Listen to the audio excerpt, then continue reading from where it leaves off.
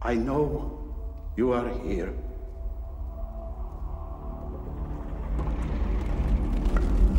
No!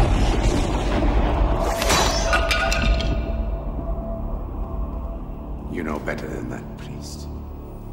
That will not save you. It will not save me from you. But in the end, it will save me.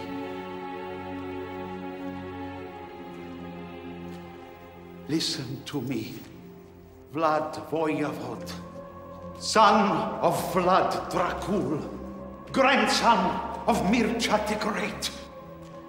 I know you. I know you.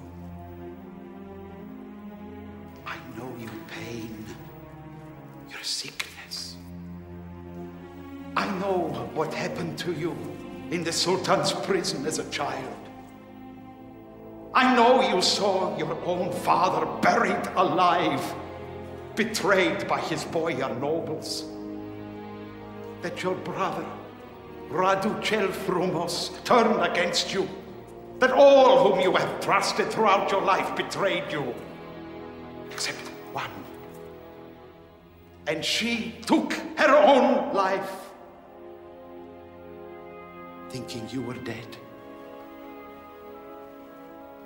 I know all this. And I understand.